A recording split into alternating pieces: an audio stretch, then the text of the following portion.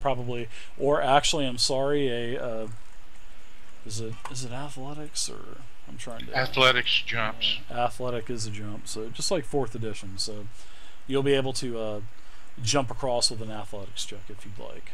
Yeah, I'll try it, but I have a negative athletics. E exactly, dirt. All right, so go ahead and give me an athletics check. Oh yeah, uh, you definitely make it with ease. Uh, you are on the the opposite side. You're so, sort of in the brush a little bit, and what I want you to do, actually, what I am going to do real quick is I need to do a uh, something real quick.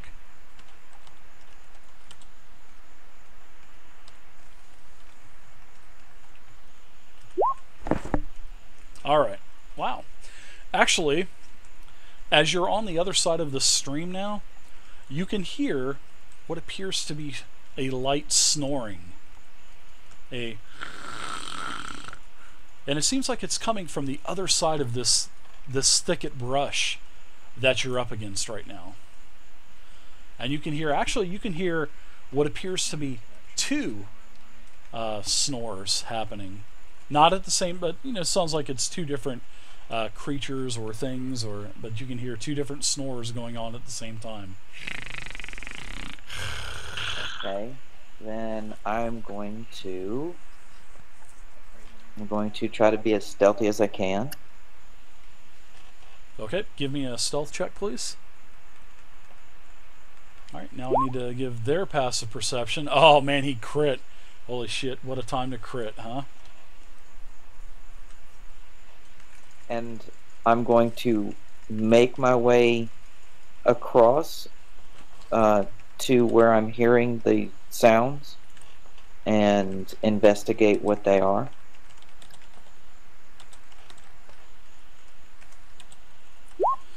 All right. So, as you no, you can't go through the the thicket. You can kind of make your way up because you know if you plow through that thicket, you're probably going to wake up anything that's on the other side of that. So I'm going to put you right here because as you get up to this area where you're at now, you can actually see that there's sort of like an alcove that's going back into this into the thicket. So what is the rest of the party doing right now? I'm going to move forward. And also, I mean, do you tell the party or anything about this? I'm kind of I, I really don't want to to ask you that because you probably well, should have did it yourself. But well, actually, I mean, what I was going to do is, as I see them move, I just kind of wave at them quietly, as you know, as as much as I can where they can see me, but maintaining my stealth to basically just stop. Don't don't come any further. Okay. As I move forward, I'd like to take and look at uh, tracks and stuff on the ground to see if I can tell, you know, about how many people or goblins or whatever has been and see if I could still see the drag marks from the bodies. Okay, you can give me a uh, give me a check. Let's see, what would that be? Probably survival, maybe. Maybe uh. There's a nature check. Uh, I was gonna say nature too. Yeah, give give me a nature check. Okay. Nice roll on that though, Ammon. You nailed it. Lucky roll. Obvious. A twelve. I don't want to die. I'm, I'm so I want to be stealthy. You don't notice any any drag marks or anything, uh, Edward, from the bodies that you had seen down at the the ambush site, but you do see several what appears to be a a, a goblinoid type of track. There's a couple smaller tracks, a couple larger tracks. That's about what you you can't really distinguish what they are because uh, they're wearing like a sort of probably a leather or hide type of boot, but you can see, you know, that there has been traffic in this area as of as of late. Okay. All right, so uh, what are you doing, Wolf? You you've been really quiet. Yeah, I'm just going to move up with mostly. Okay. Ah, so Craig, you did you did move up then. I see that you moved your miniature up. Well, yeah, just behind the. All right. Well, next time keep your miniature back where you were next time, but this time is no problem. I got no problem waiting my turn. Moving Not a problem, dude. All right. So as you start to to round the corner, Eamon, I'm gonna uncover some more areas for you, sir.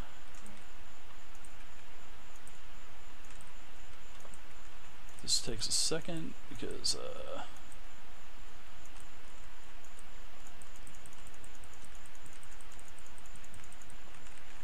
Because uh, sometimes I'll just sit there and not attack the fire. all right, huh? Shouldn't have happened. All right, so as you come around the corner, this is what you see.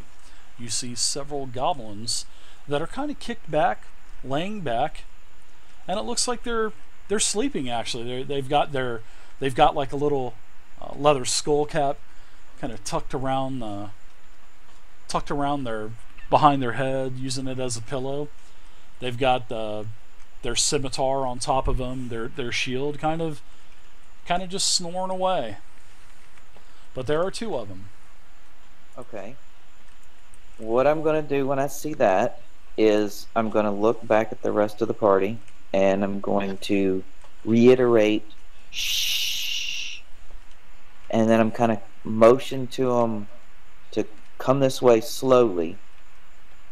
And as I see them start to move this way, what I'm going to do is prepare to fire. So I'm going to pull my bow up and draw an arrow and then look back at them uh, with the purpose of basically telling them there's something here to fight, but be quiet coming here. Because I can't Sure. yell to them across the stream. Mhm. You know, hey guys, there's two sleeping things over here. So I'm I'm trying to be as as animated as possible, as quiet as possible to to notify them that there is something that we're that I'm going to shoot at over here. You use hand signals to warn us of the danger. Yeah, There but come over here because I'm not taking this on by myself. They're just a couple little wimpy goblins, and you can actually see a couple. There's a couple bows leaning up against the the thicket brush as well.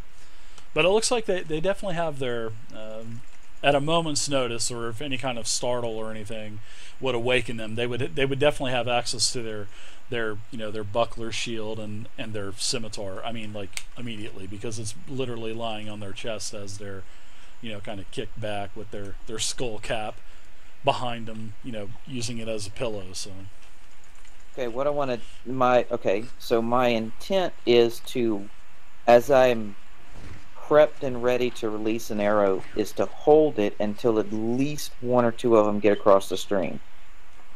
But if there's too much noise that is made or if they wake for any reason, I'm first to attack. I'm going to start coming across the stream slowly. Okay, so um, go ahead. Are you gonna basically just walk through it? I'm just going to wade through it at uh, like uh, a third of my normal speed. Okay, so you're gonna basically try to do it stealthily. So okay, Yes. give me a uh, a stealth check, please. And I guess uh, you're probably gonna do it as well, Wolf. Yes. Okay, so why don't you two give me a, both of you give me some stealth checks real quick, and we'll do it. We'll do this the old-fashioned way. I want to see. Uh, I'm trying to look up really quickly in the the basic rules. Nice rolls, guys. Uh, yeah, those are definitely nice. About coup de grace, I remember there was a coup de grace in fifth edition in the in the last playtest pack. I'm trying to. Uh, find it.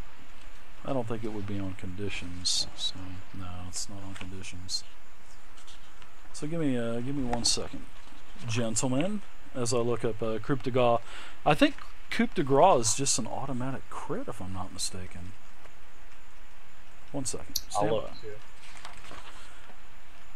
Yeah, if any of you guys see uh, Coup de Grace give me a, a yell real quick. Wouldn't it just be an attack with advantage? I was thinking that as well. I, I don't I don't know if they still have coup de grace in here. 'cause I don't remember reading it. I don't see I it. read something about coup de grace. I can't remember where though. I don't think it's in combat. It might be in uh Which we aren't in combat. so- maybe game rules.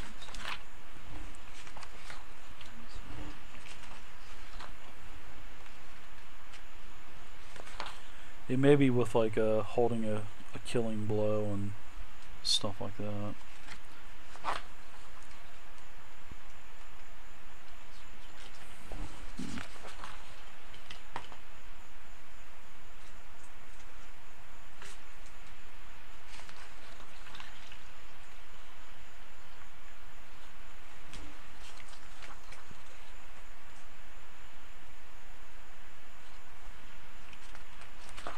Putting it in the search of the PDF that you gave me didn't bring up anything.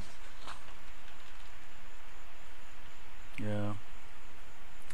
I don't see anything in, in the. I, I know it was in the the playtest pack. Yeah, it may have been the playtest where I read Yeah. that too. All right, so we'll, I'll go ahead and I'll give you a. We'll just go ahead and we'll do it uh, with. Uh,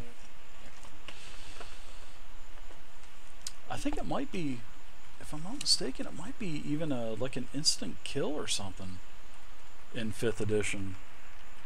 I just don't want to crack open the the playtest pack, so uh, let's go with a. We'll just go with a uh, a 4e, just like an automatic crit. So that's if you guys you know get up to him. However, you know with your with your two stealth rolls, both Stormwolf and Edward, yeah, those are definitely higher than the DC that I had set. Uh, well, it's actually it's it's higher than their their passive perception. So, bear uh, one, Edward, you were barely there, so uh, you needed a 16 or higher. So, you guys are actually able to to sneak up within the the little alcove there. So, all right, so now that's where you guys are at. Uh, so Kadojo and Robert, what are you two guys doing? Because you see uh, starting to do a lot of hand gestures and uh, you know signaling and stuff like that, and then you see uh, you know both of the fighters start to creep over the you know the, the small stream. So what are you guys gonna do? Um, I'll move over to where the uh, warriors were and get ready to cross myself as soon as combat begins. Okay. And then when you do your roll, it'll be. A bulldozer through the woods. a bull in a glass shop or something. Um, also, one other thing, Mhm. uh, I was looking at the uh, the status effects. Would, would sleeping be considered being like unconscious or something? Yeah, I mean, it, Well, They why are sleeping, that so- from now on? do they have sleeping on there? I don't see Uh, no, I, I checked for that first. The unconscious looks to be the closest thing to sleeping, and it just says attack roll against a creature have advantage. Yeah. The creature automatically fails strength and dexterity saving throws. Actually, yeah, I, I do like that instead of just an automatic crit. I mean, there there should be some kind of. But I honestly, I really think a coup de grace in fifth edition, from what I remember in the playtest pack, I think it was an automatic kill. I- I believe Which it was. cool. I know in I know in fourth edition it's an automatic critical hit. So, but I really think in fifth edition it's like an like an automatic kill. So, uh, so uh, let let's go ahead and go with uh, the unconscious uh, condition, and we'll just kind of uh, we'll just kind of go with this, and uh, I'll look in the uh, the public playtest pack. In fact, I'll, I'll go over this a little bit more. I've, I did go through this, but I now I don't remember anything about the coup de grace and the, the you know the basic rules. So I'm sure it'll be all you know in the player handbook and everything when it comes out at the beginning of next month. So, all right. So I'll let you guys do an attack with advantage. And you know, like I said, you guys are really making no noise at all. Uh, you almost start to slip a little bit, Edward, but you catch yourself. Then you you know restabilize yourself and everything because you are in pretty heavy armor and you're able to continue in. So, all right, back uh, we're to like a new round now. So, uh, Eamon, go ahead and- make your move. Edward, go ahead and make your move, and uh, Wolf, you can also do your move as well. Uh, move or, or attack? Which Struggling to meet. which one were you talking about? Oh, I found it. Oh, where's coup de grace? Is it in the basic rules? Um, it's in that how to play PDF that you sent us.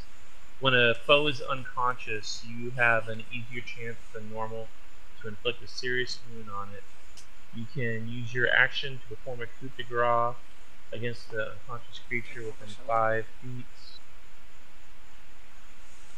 of you doing That's so. not in the basic rules, is it? That's in the, the old public playtest. Okay, yeah. Keep reading that though. Doing so requires you to attack the creature. Um, if you hit, the attack is automatically a critical hit. If the creature is already at zero hit points, it dies. Okay. And that's pretty much everything for it. Okay. All right. So it does make sense. So, And that's actions in combat. It's in under that yeah. So all right. So it goes like this. If the creature is unconscious, you coup de grace dead. If he's sleeping, you got to roll. It doesn't say advantage for the attack roll or anything. It just like says that. it's an automatic crit. Okay. So it the, is. uh, attack. It doesn't auto kill them. It Oh. only kills them if it's at zero hit points. So it say that you have to do an attack roll? That's Uh, that's the no, no, no attack roll. It's Oh, just wow. an automatic critical hit. Okay, cool. So it's just like fourth edition then, where it's just a an automatic. At least crit. in this PDF that you gave. me Okay. Yeah, I, I they they may have changed it because I remember the it was either September or October playtest. It was it was an automatic kill because I remember uh, a couple a couple of us were actually talking about how powerful it was, and so yeah, go ahead and uh, you guys have got the advantage on them, and you guys can sneak up to them. They did not realize with their passive perception of you know the, the number that that I had, well that they had you guys rolled over that. So your stealth was better than their passive perception. So you're up on them. So what are you guys going to do? Um, since I have advantage, I'm going to short bow. I'm gonna start the combat with the one that's directly in front of me, and I'm going to attack it. And I'll get my short bow, and since I have advantage on top of that, I'll get a sneak attack too. Okay, so you're going to have to do your attack rolls because you're not five feet because it, it says the the target has to be five feet. So you can But go ahead. advantage. right? Correct. Correct. Yeah, but that doesn't mean that you're going to hit though. You could roll a one and a two. I know. So go ahead and do your your advantage roll. All right, so that that's still a hit anyway because they weren't able to use their shield bonus. So that's a hit. It's an automatic crit. So uh, I'm sure your what is your What's my automatic crit? base? Nine. That's my base would be Nine. nine. Yeah, you you uh, you slit the throat, and I and I guess that you guys probably do this simultaneously as well.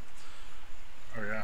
Yeah. Yeah. I'd hope Or so. within a second or two, I'm sure. I'm All sure he didn't realize exactly the second I was going to release my arrow, but All right, so what basically, yeah. what is the damage of your uh, of your weapon, Wolf? Uh, two d Max six, damage. two Oh. d six plus tw- plus two. Yeah, it's like He Braveheart. him in half. The guy opens his eyes as his face caves in as he sees the hammer striking down on his face. So, or the axe or whatever. So, yeah, the, Great sword. great sword. Yeah, both of these goblins Slices him are half. dead. So, yeah, there you go. So, sorry about looking up the the coup de grace, but I I- I didn't. I've I've pretty much tabbed a lot of this stuff, and um, uh, I don't remember reading coup de grace on this. So, maybe we could uh. It's on page 17 of the How to Play PDF that you gave us. Yeah, that's that's like old though. Oh. But I bet you this that same rule will probably be put into uh, this playtest pack eventually. So. All right, so you guys have two uh, two dead goblins. They didn't even make a sound. You guys were quiet doing this as well. I just Awesome. boom do a little jig. I'm going to go ahead and search the goblins. I'm going to search the one that I uh, sliced in half with my greatsword. Uh, you find a, a shiny sword that is glowing Must with a radiant type of energy. Speak. No, I'm just kidding. You don't find that. I'm such a jerk. Are you having problems, Ed? I can't. I see y'all keying up, but I can't hear you talking. I'm going to log out and log back in real quick. Can you guys hear me talking? I can hear you. Fine. I can hear everybody. User disconnected from your Sweet. channel. User Because entered I was your channel. I was getting worried there for a second. Okay. I think I can hear y'all now. Okay, good to go. All right, Yeah, so you guys go. have two dead goblins. Uh, I heard Ed; he was saying he wanted to kind of scour over the, the goblins, and uh, you find a another couple rusty scimitars. You find some more arrows. Well, the arrows and the bows are kind of leaning up, as I was saying earlier. They're they were kind of leaning up against the thicket. So, I mean, if you want the arrows, you're more than welcome to take them. Uh, they also have a couple pouches as well, and they both have five silver apiece. So you guys can can do whatever you want with the silver, but there's there's ten more silver between those two. Yeah, I'll grab those Hide extra. the bodies in the bushes after we're done with them. How many arrows did you say there was? Hmm? He didn't say. He just said a couple. We'll just divide the silver between each one of us. That's two apiece. There's yeah, there's a total of ten. I was saying, I was asking about how many arrows though.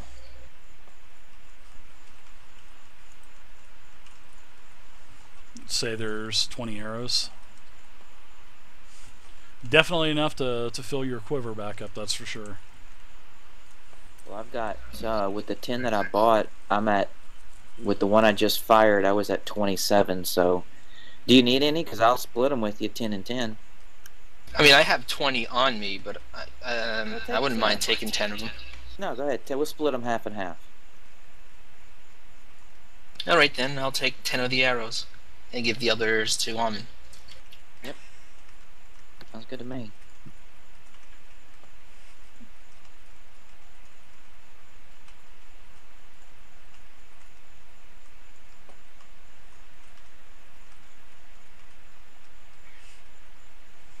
All right.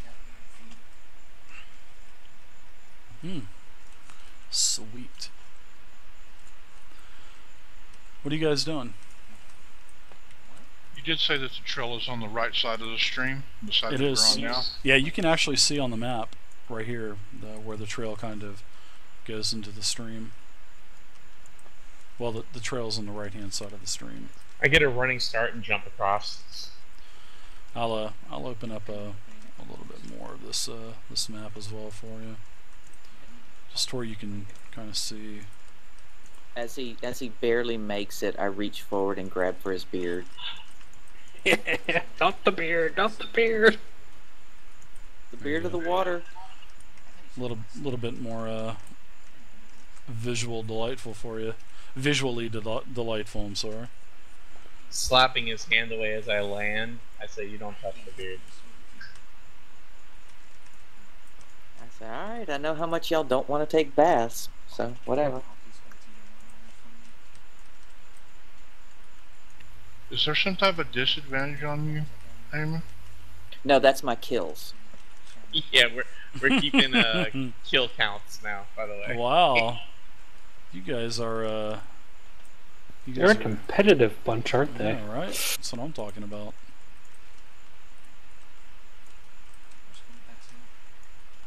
How did you add the number? you Uh, ho- you hover, hover over it and it. press the number key, which is gonna be really weird when we get to the uh, double digits. Yeah, I don't think it does more than. First one to ten wins. All right, what do we win? How, how about this? The lowest one has to marry her. Oh, Oh Jesus. my gosh. Oh god. Yeah, no. no. I'm not healing, guys. I'm I'm straight attacking from this point on. no, no, no. I guess I should go ahead and tell y'all now that Bonnie is a, a childhood friend, and her dad is the master of uh, spies for the House Clavel. And she's actually quite beautiful. She's just practicing her trade of disguise. yeah, you keep telling yourself. Bullshit. that. nope. Bullshit. Nope. Nope. not not possible. We rolled for hotness for her. Yeah, no, that's an official. That's That was not, the there's no trickery in that. Anyway, back I'm to gonna the use game, my guys. DM, my DM power to make that bitch ugliest sin. I'm just kidding. God Hunter Burn. and Bouse Herb, thank you for the follows, I guys. guess the only to the one who's been fooled is the one who's in love. So what are you guys doing? You guys Well, uh, um, have the entrance of the cave in front of you. So you know that there are definitely goblins here now. I mean, you you found two two uh, catnapping goblins. I think we tried to. I think we should continue to try to be stealthy and search around the area, seeing as how we have not been detected yet. I Well, agree. I'm going to go towards that cave and uh, attempt to peek inside to see if I can see anything. You go stealth there yourself, buddy. A stealthy That's- warrior in uh, what are you? In leather, right? You can be pretty Yes. stealthy, yeah. So I reach in my pocket and I take out that half-eaten roll that I had earlier that nobody wanted, and I just take another bite and watch the fiasco that's about to happen. So feel free to uh, move your token up uh, if you're going to start to encroach into the into the cavern. And you can see that the the entrance to this this hall is still pretty lit from the actual cave entrance itself. But as you get up to the entrance, you can see that the, the light does start to fade to black as well uh, as you're looking into the cave. So uh, I'm going to give you some uh, some more visuals here.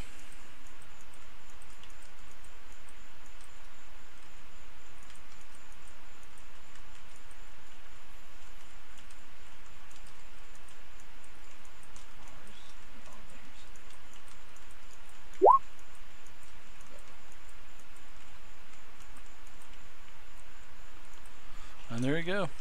This is what you uh, see as you. This is pretty much the entire lit area of what you can see. You know, you can see that there are uh, some stairs to the to the eastern side. It looks like a like a some earth carved stairs that are kind of going up, maybe five feet, five ten feet, up into uh, what appears to be another uh, another chamber. There's also to the north, you can see that the, the river is still flowing, and you can't really see much more past what you can see that you know the 20 30 feet that you can see because it does basically go into darkness. And then on the left you can see there's sort of like another alcove but it looks like there's a lot of rubble around this alcove. It may not be uh may not be passable. Just from you know looking into the tunnel first glimpse kind of looking around to see if there's any monsters in here that's what you see. You guys are still talking about love and chat. I love it.